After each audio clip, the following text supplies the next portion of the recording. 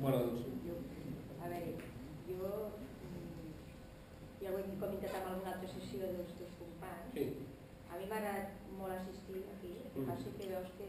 Bueno, jo, jo tenia clar que se'ns ha girat fer la matèria. Mm. Jo és allò que dius, però on comencem o com avancem, no? Ara ha, almenys aquí a nivell de Catalunya, sembla que hi ha diverses coses en marxa.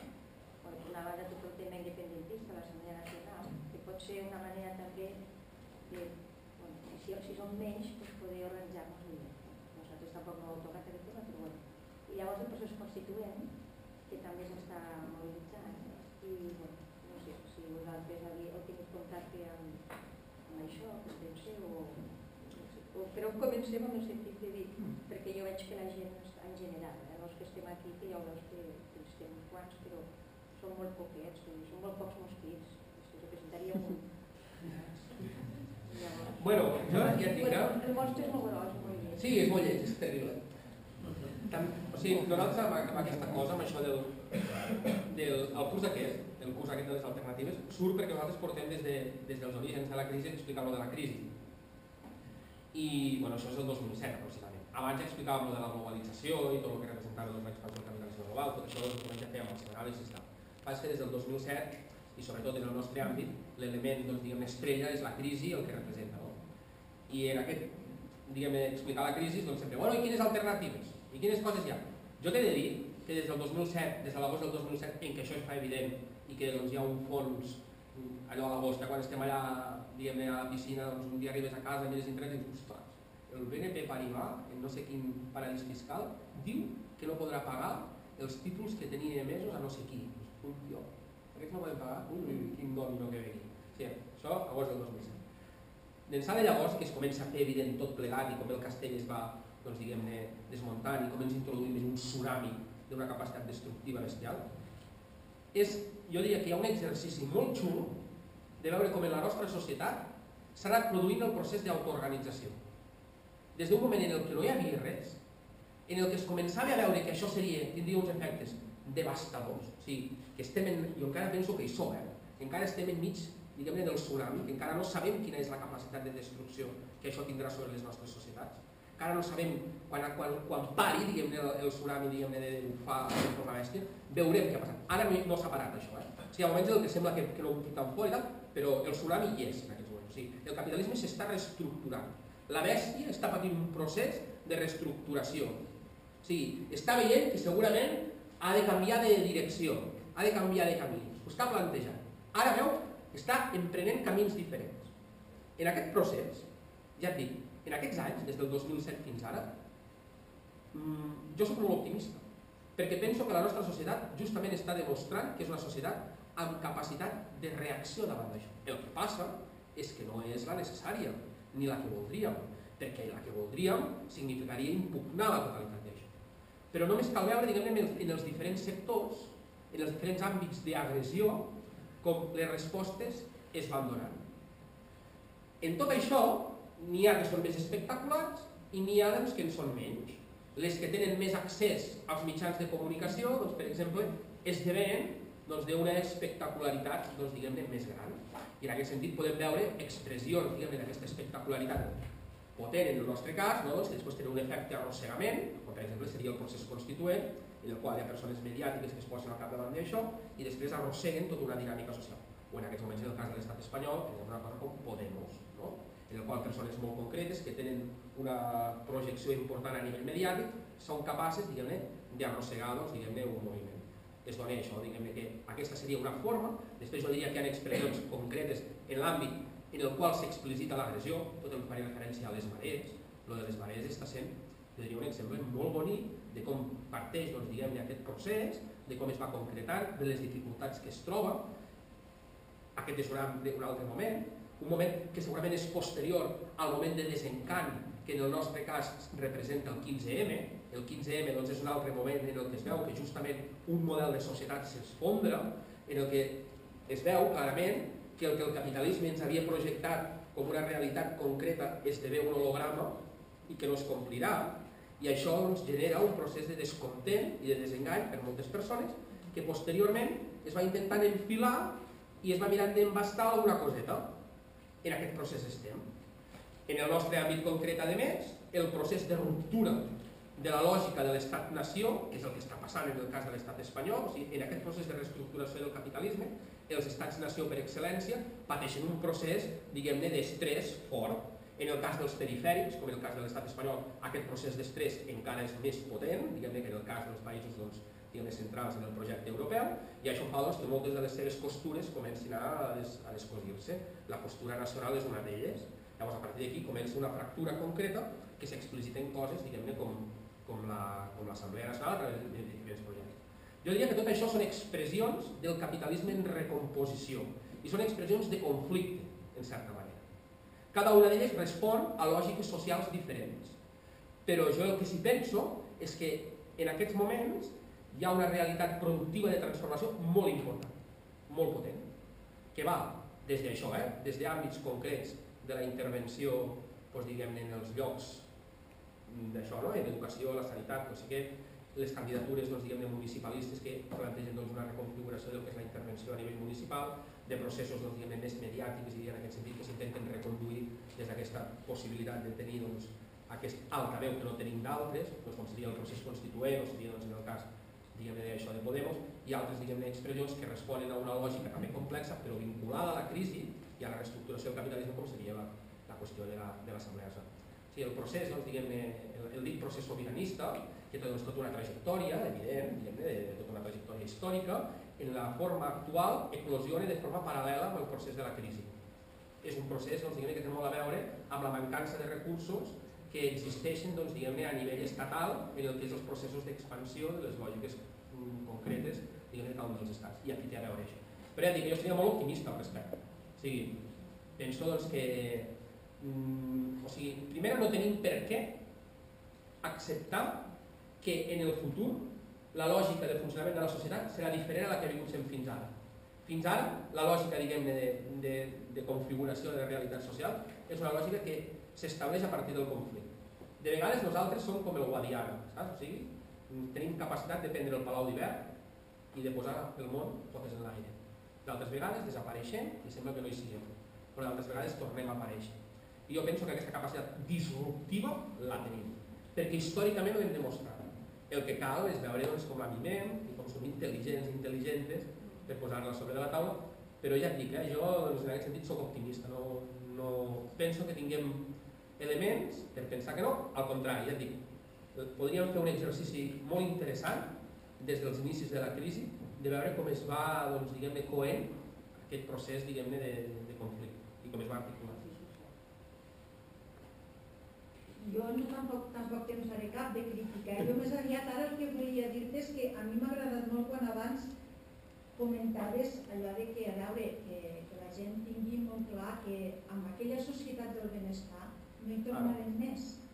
I no hi tornarem més perquè a més tu ho has explicat molt bé, perquè aquell capitalisme en la societat del benestar es dona perquè allà hi ha un altre bloc un estat, diguem-ne com vulguem, de caire socialista, amb els adjectius que vulguem, però que a la societat occidental, per tal d'intentar evitar processos revolucionaris, no fos cas que se'ns desmarxi, munten aquell, aquella anomenada societat de benestar. Clar, ara allò ja no hi és. I a més a més és, és molt interessant veure com això és, és paral·lel en la, en, de la manera que tot allò va, va començar a grinyolar i va començar a enfonsar-se, doncs també aquí a la societat occidental la crisi des del 2007, ho saps molt millor. Eh? És, és, són processos paral·lels. Allò grinyola i aquí ja com que ja no hi ha cap barrera, ja no tenen cap aturador, doncs aquí la cosa comença també a desmarxar. Llavors, a mi m'ha agradat molt, ho sento, no et faig cap crítica, m'ha agradat molt quan deies això, que, eh, eh, eh, que la cosa passa inevitablement per canviar de model, perquè una tornada amb aquella societat del benestar, amb aquell món feliç, eh? ja no es tornarà a produir, no. perquè allò, aquell altre bloc ja no hi és tampoc. No, no, això per una banda, o sigui, clar, és que mm, això, diguem-ne, de, del fet doncs, de, de la Constitució de l'Estat del Benestar en un moment històric concret, és que clar, és que la, de vegades la, la, la gent es pensa doncs, que això de la Unió Soviètica sempre ha sigut el dimoni que ens han volgut presentar, i no és així. O sigui, la Unió Soviètica emergeix com el projecte triomfador de la Segona Guerra Mundial. O sigui, qui ha posat sobre de la taula dels morts per derrotar el feixisme? qui s'ha involucrat, diguem són els treballadors i les treballadores, i sobretot ha sigut, diguem els soviètics que hi han perdut 24 o 27 milions, diguem de, de combatents en la Segona Guerra Mundial. Per tant, la Unió Soviètica és un referent modèlic per molta gent en aquests moments. I clar, això s'ha de contrarrestar. S'ha de contrarrestar d'alguna manera. I això és el que fa. Clar, la qüestió és, a partir de la dècada dels 70, diguem quan s'ha perdut la Guerra Freda, diguem quan surt una, una potència victoriosa doncs, clara de la Guerra Freda, i a més, tot el que ha sigut el model d'acumulació de postguerra s'ha acabat i es comença, el capitalisme doncs, té un problema de taxa de beneficis, ha de començar a rearticular-se, doncs comença doncs, aquest procés de, de viratge, o sigui, ja el rinoceront fa ras i tira cap a una direcció. La direcció cap a la que tira és el procés de globalització, o sigui, la globalització és la, una, una, un dels mecanismes de solució diguem-ne a, la crisi doncs, que el capitalisme tenia plantejada a la dècada dels 70. La globalització és una forma de gestió, la forma de gestió és el neoliberalisme. El neoliberalisme al final farà claudicar tots els models socialdemòcrates. O sigui, en el moment en què el capitalisme es planteja doncs, la deriva global i planteja el neoliberalisme com a forma de gestió, la socialdemocràcia té un desafiament potent. L'estat-nació, a partir del qual doncs, intervenia en les seves polítiques doncs, doncs, d'estat, doncs, deixa de ser un espai doncs, en aquest sentit hegemònic en la lògica del capital, que es veu absolutament desbordada per la lògica global. Per tant, la lògica keynesiana, diguem la lògica socialdemòcrata, té un problema. Intenten solventar-ho de forma absolutament fracassada, com fan allò de la tercera via. I diuen, bueno, ja sabem que això del capitalisme va de forma global i tal, però haurem de veure com som capaços de fer congruent la globalització amb els aspectes, doncs, diguem més socials, no sé què, fracàs. Si al final la tercera via és Reder, Blair, li veiem ara al pobre Hollande, no? al final és l'agenollament d'un model d'anàlisi i de gestió de la societat davant del que representa el capitalisme potent. Això ha passat així, però és que a més ara el problema, jo penso, el problema greu que té el capitalisme també és que el seu procés d'acumulació, diguem-ne, la seva lògica interna, tal com està en aquests moments, no aguanta aquest procés de redistribució. O sigui, el tema és, el capitalisme havia pogut viure, jo diria, des de la dècada dels 90 en endavant, perquè existia un procés de capital fictici a través del crèdit que permetia portar al present el que havien de ser els beneficis del futur, beneficis que encara no s'havien de produir, que es portaven via crèdit i deien, bueno, com que tu treballaràs, tindràs un sou, no sé què, com que tot això funcionarà, els preus dels habitatges no baixaran mai tal, podem portar tots aquests recursos del futur amb un tipus d'interès al present i funcionar. El que ha passat és que aquesta lògica que li va servir al capitalisme per desplegar-se de forma ampliada durant tot aquest procés s'esgota i ara no hi ha la, o sigui, el procés de financiarització no existeix. En el fiasco del procés de financiarització, hi ha una part important de tots aquests beneficis que s'havien de produir en el futur i que no es produiran mai, que encara es volen cobrar, s'han de pagar. El capitalisme no ha solventat aquest problema de deute privat que tenia el 2007 explicitat amb tot el tema dels deutes, diguem de tots els actius tòxics que hi havia als bancs, etc etc i de tots els elements doncs, de, de, de productes financers altament especulatius que no tenien valor. Què ha fet amb això? Una patada endavant. Ha agafat la pilota, bueno, la pilota, el glob que ha fet Bumba, patata, en forma de què? De deute públic. I ara existeix una realitat concreta. La realitat concreta és que per fer front, diguem al pagament d'aquest deute públic, es necessita succionar tots els recursos que existeixen en la societat. I aquesta factura, que al final és la factura dels bancs explicitada a través doncs, diguem de deute públic, els, sembla ser que el capital financer no està disposat a renunciar-hi, no hi vol renunciar. Com que no, no vol renunciar a això, què succeeix? Succeeix que els estats tots els recursos els posen a disposició d'això. No hi ha capacitat per intervenir en polítiques productives ni en polítiques de generació doncs, diguem de demanda. A més, el capitalisme global va generar una forma de produir altament complexa i podríem dir molt desenvolupada. La capacitat diguem productiva del capitalisme en aquests moments és molt més elevada que la capacitat d'absorció per part de la societat amb els mecanismes que el capitalisme planteja. Per tant, hi ha uns nivells descomunals d'inversió que s'han d'amortitzar en algun moment.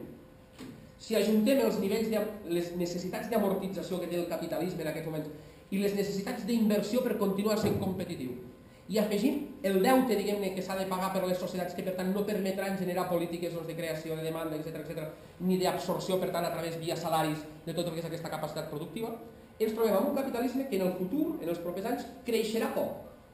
Tindrà taxes de creixement petites. Bueno, ja ho veiem que aquí un creixement del 0,6% el plantegen com la victòria absoluta. Veiem, diguem que, per exemple, l'economia per excel·lència, diguem que estan tirant del creixement, que són les economies emergents, en aquest cas la xinesa, està experimentant taxes de creixement que són molt elevades. però són molt baixes respecte al que havia vingut creixent, per exemple, en els darrers 10 o 15 anys. Està en taxes del 7, 8%, quan havia crescut a taxes del 14%. Què passa? La conclusió. La conclusió és que el capitalisme amb taxes de creixement més petites haurà d'assegurar-se taxes de guany molt elevades. Amb taxes de creixement petites, assegurar-se taxes de guany molt elevades significa capacitat de redistribució zero. Per tant, se'ns posa sobre la taula dos models de societat. Un model altament agressiu, violent, explotador com no ha sigut mai, com nosaltres no havíem viscut mai, que ho havia sigut, però no l'havíem viscut d'aquesta forma, que és el capitalisme del segle XXI, a més un capitalisme poc inclusiu, perquè és altament productiu, per tant genera molta gent exclosa, i per altra banda, un altre model, diguem-ne, que en aquest sentit ha de plantejar-se una altra forma de societat. Jo diria que no hi ha terme mig. Sí, hi ha dos models de societat contraposats. Llavors, aquesta és la qüestió. La qüestió és saber doncs, fins a quin punt nosaltres com a societat serem capaços, doncs, en aquest sentit, de, de, de, de presentar una proposta antagonista, diguem-ne, al que el capitalisme ens planteja en el futur. Però que això està així és, està clar. O sigui, penso que és evident que el capitalisme del segle XXI no té cap capacitat redistributiva si vol continuar assegurant, diguem-ne, el, el seu procés de mínima expansió. Per què? Pues perquè el fiasco encara no l'ha pagat, el capitalisme no es pot desmuntar, per tant té unes fàbriques altament productives i no té capacitat d'absorció, té a més uns problemes doncs, diguem físics a nivell de recursos naturals que fan que el preu del petroli s'incrementi, etc, etc. I per tant això, doncs, un, uns increments de costos que també ha de poder compensar d'alguna altra forma i això s'acaba compensant diguem amb uns nivells d'explotació i amb uns nivells de violència sobre les societats, jo penso, doncs, diguem-ne, descomunals. És així com es reestructura el capitalisme. Per tant, aquí, pensar doncs, que hi haurà un euro per estat del benestar, no. El que intentaran veure és com mercantilitzen tot el que quede, com es poleixen tota la resta del patrimoni públic. I això és el que estem veient en aquests moments a través de múltiples formes. Des de tot el que és pues, això, no? la privatització i externalització de tots els serveis públics, la privatització de les pensions, fins a la posada en venda de tot el patrimoni que queda. Hem vist com amb els pisos de Ciutat Meridiana doncs, estan disposats a vendre-se'ls a Goldman Sachs. Pues és això, diguem-ne, la, és aquesta diguem la, la lògica. Per tant, jo diria que no hi ha... I és aquí on, on jo plantejo això, eh? o sigui, el que jo diria és que, i aquí, si nosaltres plantegem la defensa d'una sanitat universal, d'una educació universal, d'unes pensions dignes, estem plantejant un pols duríssim al capitalisme actual. Això no es pot entendre en termes de reforma. Plantejar avui això ha d'anar lligat a una altra forma de societat. És que al tanto, avui plantejar un model de societat amb uns drets socials, diguem-ne, mínimament acceptables, és plantejar l'impagament del deute, és plantejar sortir de l'euro, és plantejar ser, doncs, en aquest sentit, la baula de la cadena que possiblement porti a la fractura final, diguem d'un projecte no sòlid i en aquest sentit absolutament desequilibrat com és l'euro. O sigui, és que, I això és la defensa d'una cosa que pot semblar mínimament naïf, però és que el capitalisme no ho suporta, no, no suporta això. No sé, jo, ja que has demanat, has preguntat sobre sí. la nostra opinió sobre el curs, has demanat una queixa de feedback, Eh, en el meu cas no, no he pogut assistir a totes les xerrades, però les que he pogut assistir m'han semblat molt interessants i sobretot m'ha agradat, agradat que vingui diferent gent, que tingui una mica diferents maneres de veure uns temes dins d'un consens, no? I sobretot el que trobo clau, perquè al no poder assistir a algunes sessions vaig començar a llegir el dossier, no? I segurament molta gent no se'l llegirà perquè deu pensar, hòstia, quin tostón de dossier, no sé què. Però me'l vaig començar a llegir i em, no sé, em va, em, em va agradar molt, tal com està escrit. Eh, moltes vegades vas a, vas a xerrades i, i després vols aprofundir sobre, sobre, aquests, sobre els temes que es tracten i no pots, perquè darrere no hi ha un discurs o una, una argumentació més, més profunda, etc etc.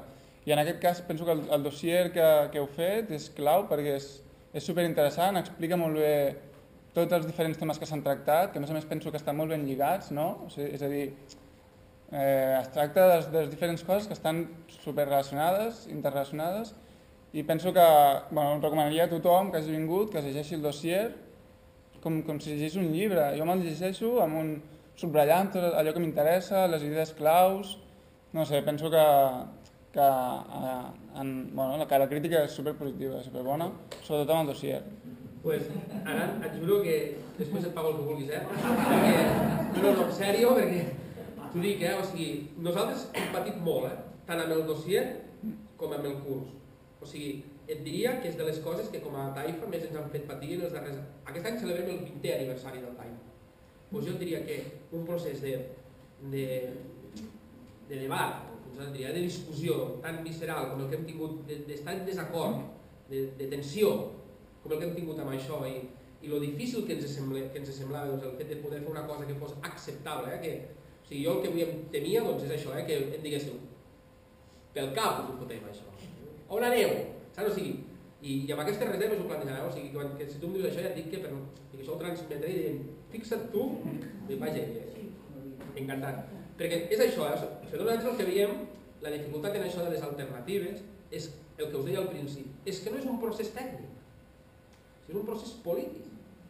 I el procés polític implica aglutinació, diguem capacitat d'aglutinar força. Nosaltres podem tenir la força de la raó, tota la que vulguis, però si no tenim la raó de la força, no, no fem res. Llavors, qualsevol cosa, des de poder tancar un centre cívic a les 9 de la nit perquè vols fer una activitat, si ja no tens capacitat ni per incidir que el videll et deixi la clau i tal, sinó que l'Ajuntament diu que has de marxar i te n'has d'anar fora, si ja no tenim capacitat per intervenir aquí, com carai nacionalitzarem la banca, saps què vull dir?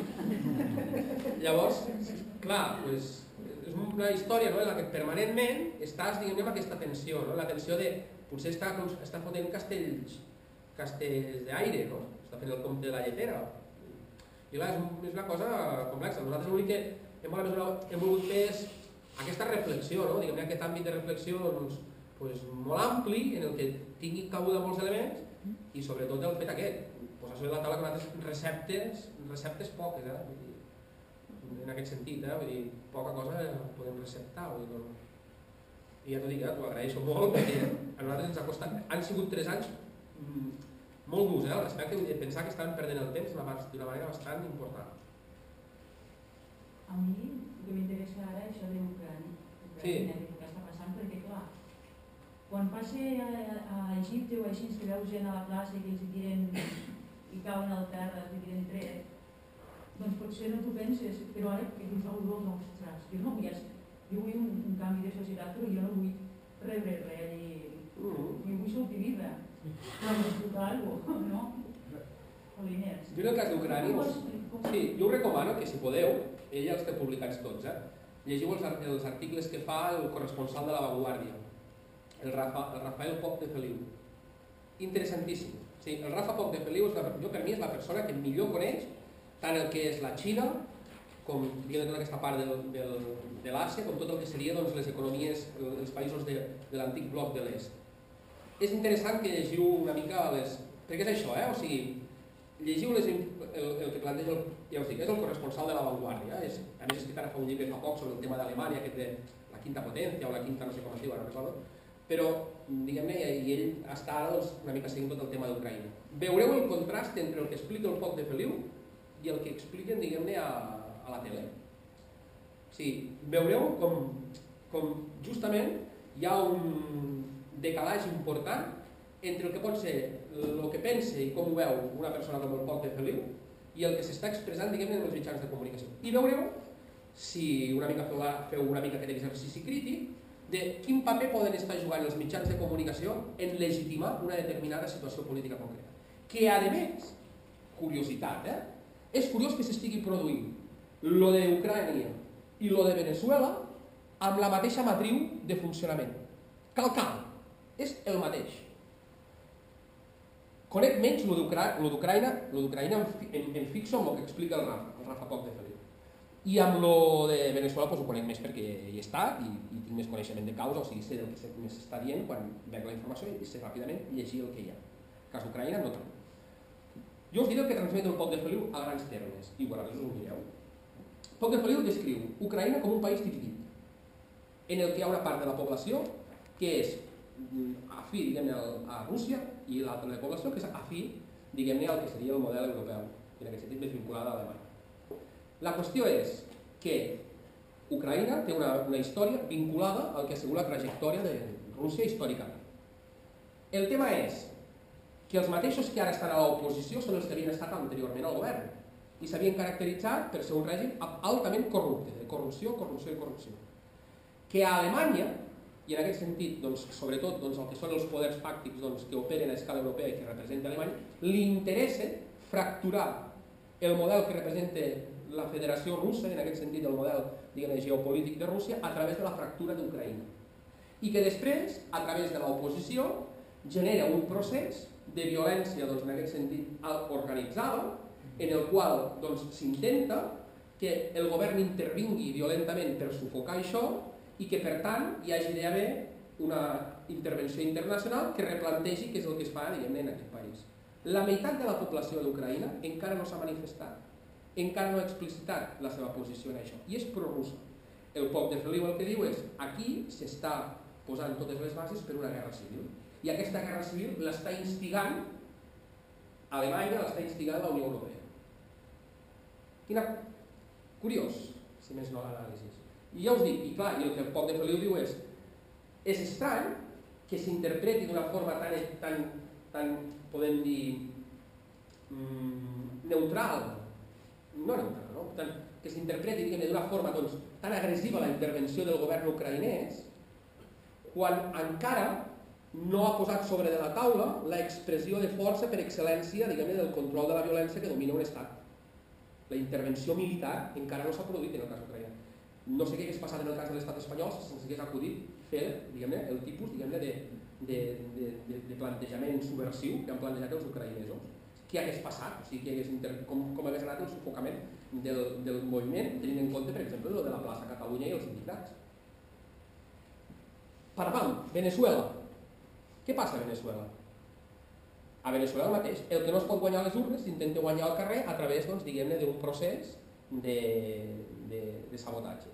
Clar, nosaltres a Venezuela no sabem res, però a Venezuela, doncs, per exemple, si tu llegeixes doncs, la informació doncs, que arriba des d'altres canals, doncs veuràs com, per exemple, el governador del govern de Venezuela, diguem-ne al Táchira, que és la zona com que està mm, mm, fronterera amb Colòmbia, pues aquesta persona li van cremar la casa, la seva dona i les seves filles van ser tretes de la casa, bueno, tot un procés violent. Sabotatges en tot el que són les línies de metro, ferrocarril, a més de forma coordinada. Comença a arribar doncs, una matriu d'informació que ens arriba aquí, que es diu el senyor Leopoldo López, persona demòcrata de tota la vida, demòcrata de tota la vida, el senyor Leopoldo López és dels que van signar el pacte, o sigui, els que van signar el decret Carmona, que és el decret del cop d'estat del 2002 el seu pare era un dels principals propietaris de tot el que era la indústria oligopòlica diguem del petroli controlada privadament. Ell, diguem-ne, és una persona estretament vinculada a tot el que són els cercles de poder de l'extrema dreta llatinoamericana que representa Loro Uribe Vélez, expresident de Colòmbia, en aquest moment jutjat per paramilitar.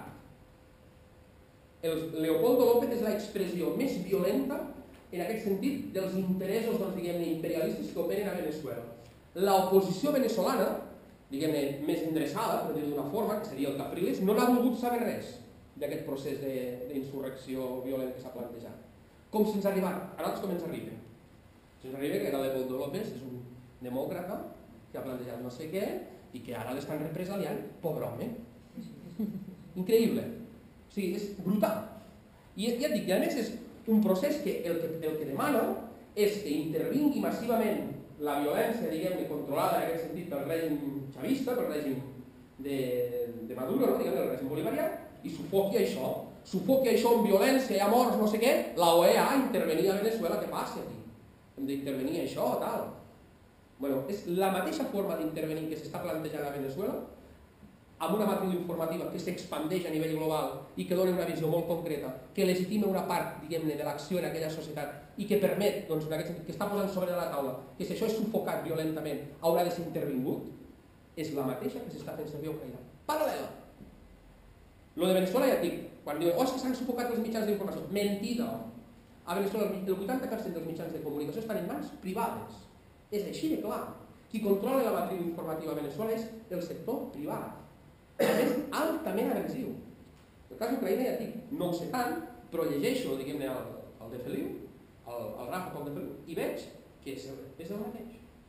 O sigui que és la mateixa, el mateix modus operandi. Increïble. Brutal. Sí, brutal això, eh? O sigui, brutal com, com el mateix que se'ns explica a nosaltres, s'està explicant a la CNN, s'està explicant pues, al, al Mercurio, s'està explicant a diferents parts del món, la mateixa matriu informativa que, a més, està configurada ex profeso per legitimar aquesta forma d'intervenció. O sigui, se genera un procés de, de, de violència organitzada molt fort, que genera molta tensió i en el moment en què això pot ser sufocat és vist com una agressió als demòcrates per part de règims no consolidats democràticament. Quan parlen, diguem del règim veneçolà, parlen d'això, del règim de Maduro, no del procés veneçolà o del govern, del règim. Bueno, règim. Però el que és trist és, a veure, em fa una mica de vergonya dir-ho, no? però jo que he dit, els de Venezuela tenen raó per lo que m'ho ha explicat gent de confiança, quan miro la tele me fan dubtar Ja, no, ja, ja. i ara quan estaves parlant d'Ucrània, Ucrània, Ucrània, Ucraïna, o Ucrania, o és igual. Pues estava globant equivocat, no? M'entens? Vull dir, Sí, però dir a mi, aquest No és tant, diguem-ne, la qüestió del bando equivocat, sinó el fet d'entendre que la cosa no està tan determinada com ens plantegen a nosaltres, com la complexitat és bastant més gran de la que plantegen. Si en el cas d'Ucraïna, per exemple, el Rafa Poc de Felipe, com fa el seu anàlisi, no diu que el Yanukovych tingui raó i que sigui la cosa defensant o no. Però el que diu és que el devenir històric d'Ucraïna és un país dividit. És un país dividit amb dues meitats pràcticament simètriques. Que una meitat és prorussa i no vol saber res de la qüestió europea. I que l'altra meitat sí. Però que aquesta altra meitat ja havia estat al govern i havia sigut altament corrupta i que ara les eleccions les havien guanyat els altres. I que aquesta altra meitat encara no s'ha expressat. I que qui té molt interès en que això, doncs, diguem es fracturi i hi hagi aquest procés, és, doncs, diguem-ne, la Unió Europea, és sobretot Alemanya. I ja us dic, eh, justament ahir tenia un article a Rebellion, que el podeu, el podeu veure. I en el cas de Venezuela, el cas de Venezuela és vergonyós, és vergonyós. I aquí, doncs, vosaltres podeu veure-ho fàcilment, perquè podeu connectar Telesur i Telesur us donarà l'altra visió, diguem-ne, de, la, de la jugada, llavors vosaltres podreu avaluar. Però ja us dic, diguem en el cas de Venezuela, és justament el fet concret de que, clar, si a veure si ens entenem, Venezuela és un país que amb recursos petrolers, gasístics i, diguem-ne, minerals, és un país alt, molt i per tant, diguem és un país que no és naïf des de la lògica geopolítica global en aquests moments. I l'interessant és això, és veure doncs, com el modus operandi és molt similar. O sigui, informació que legitima una determinada actuació social, que presenta els governs d'una determinada forma, que prepara l'espai, diguem-ne, per una intervenció doncs, diguem exterior a partir de l'intent de sufocar els governs de les, de, de les diferents protestes que estan existint. El que passa Clar. és que aquí això és fortíssim perquè la Unió Europea neix, entre altres coses, per evitar les guerres i per defensar drets. Això és el que diuen. No, no, està clar, però que és el que dius, això sí, bueno, que sí, és, és brutal, perquè ja ho veus que això la cosa està molt tensa, no? I és el que diu ella. Clar, però és que la Unió Europea, clar, la de la Unió Europea sí, ja, sí, sempre un projecte polític s'ha de legitimar d'alguna forma, no? I la forma de legitimar la Unió Europea és aquesta, no? Doncs els pares d'Europa, doncs tot el que és el discurs aquest de creació d'un espai que després doncs, ha servit, doncs, diguem, per sufocar els conflictes bèl·lics que endèmicament doncs, havien, havien succeït a nivell europeu. Però clar, mm, mirem-nos-ho també des de la- l'altra perspectiva. Posem-nos de la dècada dels 50, final de la Segona Guerra Mundial. Una Europa que necessita doncs, reconstruir-se, que ha de doncs, generar un projecte doncs, econòmic capaç de competir en, en els lideratges que en aquest moment s'expliciten a nivell global. Lideratges que a més són molt forts. Els Estats Units és la gran potència victoriosa. L'altra part doncs, diguem té el bloc de l'est. Què li queda a Europa? A Europa li queda autocolonitzar-se. Li queda construir un mercat de 300 milions de consumidors que operi a escala europea per reforçar diguem, el seu àmbit d'intervenció a nivell domèstic per després ser competitiu a escala internacional. Això és la Unió. Qui, qui genera aquest procés? El generen els grans capitals que operen a escala europea. Des dels principis, des del Tractat de Roma del 1957, a partir dels processos diguem previs doncs, de, això, no? doncs, diguem de, la, de la FECA i de l'Euratom a través del que és la integració energètica, sorgeix un projecte que el que ha de servir és per reforçar la capacitat competitiva d'Europa en un món bipolar. Aquest és el naixement, diguem-ne. Després com es consolida? Doncs pues es veu clarament. Es consolida com? Primer, a través d'un projecte que és Comunitat Econòmica Europea. I després, posteriorment, a través d'un projecte que és Unió Econòmica i Monetària. Sí, és un projecte que sobretot té un vector econòmic, que li ha de permetre, doncs, a través d'una moneda com l'euro, intervenir a nivell global per ser el més esquilmador possible. L'euro ha sigut la màquina que ha tingut el capital europeu per poder doncs, diguem saquejar els llocs on ha intervingut. Per tant, és un instrument, és una, és una estructura construïda per ser efectiu aquest capital que opera a escala europea en la dinàmica global. Ara, quin és el projecte estrella que s'està plantejant? El tractat comercial transnacional. O sigui, veure com, davant de la possibilitat que, que existeix de que emergeixi un pol de països emergents, els famosos BRICS, que a més estan organitzant molt bé tot el que seria el bloc de Xangai, començant a plantejar fins i tot una moneda diguem única i que comença a plantejar doncs, aquesta àrea doncs, diguem contrahegemònica, veure com es pot afiançar un pol doncs, diguem capitalista ortodox, podríem dir occidental. I això doncs, diguem, és el darrer, el darrer projecte, o sigui, afiançar internament la, la, com es diu, la cosa aquesta de l'austeritat i externament afiançar un projecte d'intervenció comercial molt potent. O sigui, la Unió Europea és, jo diria, doncs, la gran troba que nosaltres ens han col·locat. La Unió Europea és justament el gran projecte diguem del capital per intervenir a nivell global des de la dècada dels 50 doncs, fins a l'actualitat. I a nosaltres doncs, ens ho han venut com això, eh, com el projecte de modernització que mai ha sigut, a més fixa't tu, eh, o sigui, com a unitat d'intervenció per fer polítiques internes, la Unió Europea té un pressupost que arriba a ser justet l'1% del seu PIB. O sigui, aquest és l'instrument d'intervenció per excel·lència que té una entitat governamental, el pressupost. És l'1% del seu PIB. Un pressupost normal, d'un estat normal, està entre el 40 i el 50% del seu PIB. O sigui, Europa no es construeix com una entitat que ha d'intervenir a través de polítiques doncs, diguem que generin doncs, això, eh? política industrial, no, és un instrument per desregular, mercantilitzar, privatitzar i en aquest sentit ser doncs, un, instru un, un instrument potent de competència internacional. Això diguem és la meva. Doncs no és nou, ja gràcies perquè va marxar. Eh, Agrair-vos a sobretot a Sabrina i a no, vostè i no, no, a vosaltres. I també tots els que heu vingut i dir-vos també que fora hi ha grans especialistes que s'han fet sobre la situació de la Santa Catalunya que, que són molt interessants i poden fer disposició. Doncs per venir i no